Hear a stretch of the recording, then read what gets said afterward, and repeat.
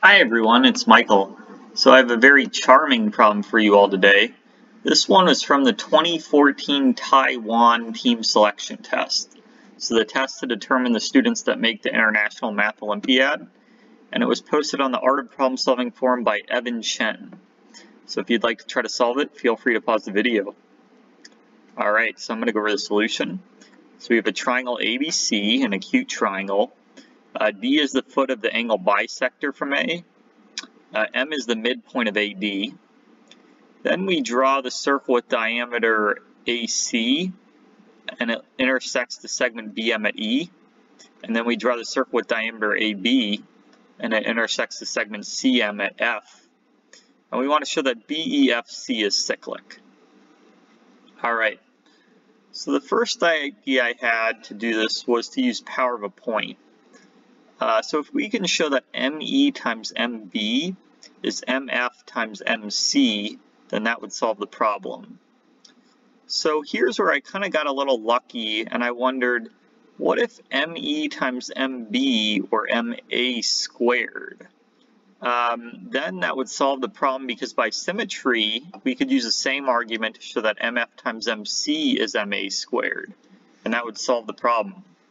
So like I said, I kind of got lucky realizing that, but if that were true that ME times MB were, were equal to MA squared, then that would mean that MA is tangent to the circumcircle of ABE, and from there it would follow that angle MAE would be equal to angle ABM.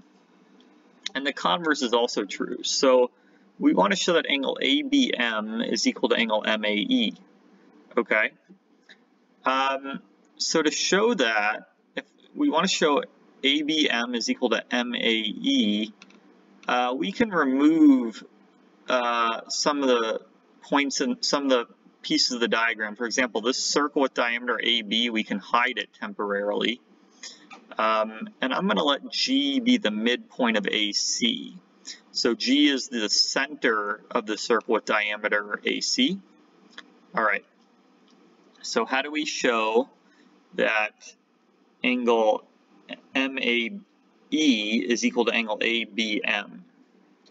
Okay, so the first thing I'm going to do is we have an angle bisector from A. So how do we use that? Um, well, the angle bisector of an angle in a triangle always meets the circumcircle uh, at the midpoint of one of the arcs. So I'm going to draw the circumcircle of ABC.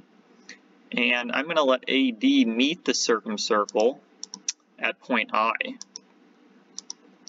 Okay, so that's how I'm going to use the fact that AM is an angle bisector, because then we know that I is the midpoint of arc BC.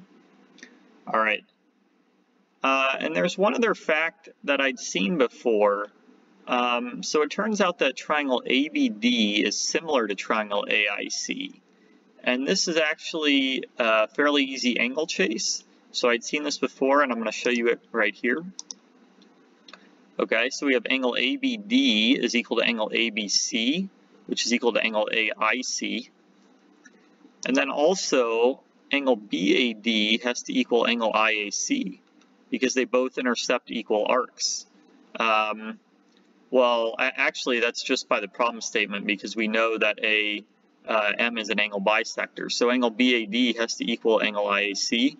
And so from there it follows that these two triangles, BAD and IAC, have to be similar because they both share two common angles. And now what I'm going to do, so we wanted to try to calculate angle BAM. Um, so note that that's uh, the angle that this cevian BM makes with AD, or, or, or, or it's the angle that um, BM splits angle ABD to in the triangle ABD. Um, but, but triangle BAD is similar to triangle IAC, and in triangle IAC, G is the midpoint of that corresponding side. So basically, that means angle ABM has to equal angle AIG. All right, so I'm going to write that out. So since M is the midpoint of AD in triangle BAD, and G is the midpoint of AC in triangle IAC, um, then that means M and G are corresponding points in those two similar triangles. And so it follows that angle ABM has to equal angle AIG. Okay, so how does that help us? Um, well, I'm going to extend BM uh, to meet the circumcircle of ABC at point J.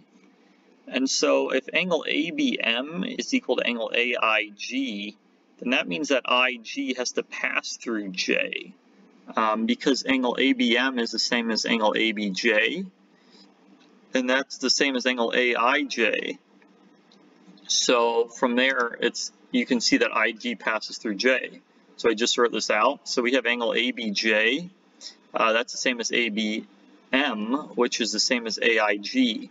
So if, if AIG is equal to AIJ, then IG has to pass through point J. All right, so now we're making some progress here. Okay, so we want to show, we want to try to calculate angle AEM now. Um, and we want to show it's equal to angle BAM. But angle BAM, uh, that's the same as angle BAI, okay? And BAI is the same as angle BJI. So really we want to show that angle AEJ is equal to angle uh, BJI.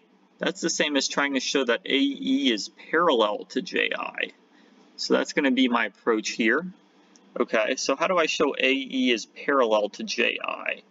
So I'm going to show you how I do that. Um, it's a little bit clever. So uh, one thing I'm going to note, I'm going to show that triangle EJG is congruent to triangle CJG. Um, and I'll show you how that ends up solving the problem. So angle EJG, uh, that's equal to angle BJI. Uh, which is equal to angle CJI, because they both intercept uh, equal arcs, uh, since arc BI is equal to arc CI. And angle CJI is equal to angle CJG. Okay, so, so angle EJG is equal to angle CJG, so we have some symmetry here.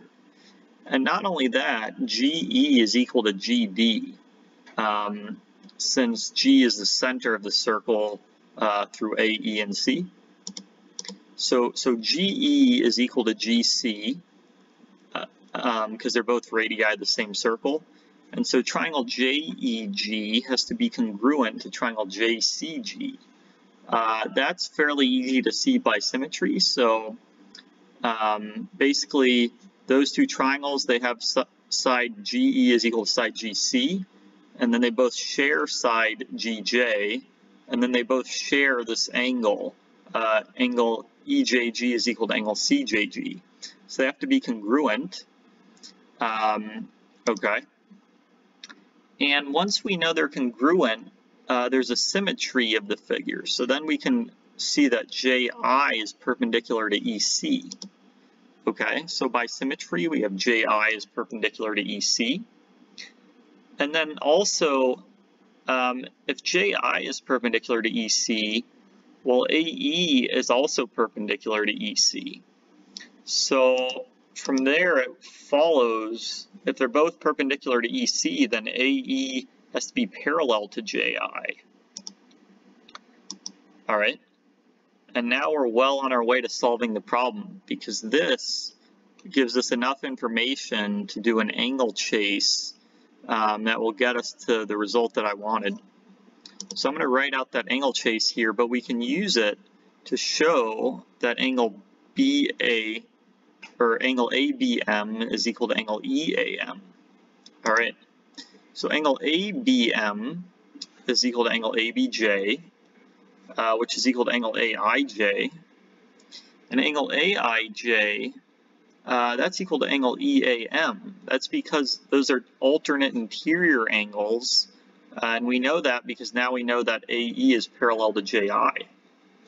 So we have angle ABM is equal to angle EAM, which is exactly what we want to show, because that means, if that's true, then as I mentioned before, uh, that means that a MA is tangent to the circumcircle of ABE. Okay, so I didn't draw out this circle, but if you drew it in, um, you would see that um, if MA were tangent, then that would mean that angle uh, ABM uh, would be equal to angle EAM. And the converse is also true. So we know that MA is tangent to the circumcircle of triangle ABE. And so then by power of a point, uh, MA squared is equal to ME times MB. Okay, so we did the whole, this whole argument. Um, we used it to show MA squared is equal to ME times MB. We could have used the exact same argument repeated all again to show that MA squared is equal to MF times MC. Okay, so here's the other circle that I hid before. Um, but using the exact same argument, we could show that MA squared is MF times MC. And so therefore we can set these two equal to each other. And so we have ME times MB is equal to MF times MC. And therefore by the converse of power of a point, BEFC is cyclic. So it was a little tricky explaining this because I really worked backwards a lot to get to the solution. Um, so maybe it looks a little bit like magic, um, but if you started with what you wanted to prove, uh, which is MA squared is equal to ME times MB, and MA squared is equal to MF times MC, and you kind of work backwards from that, uh, that's kind of how I ended up solving the problem. So if you like this video, give it a thumbs up. And if you'd like to see more like this, feel free to subscribe to my channel. Uh, thanks, everyone.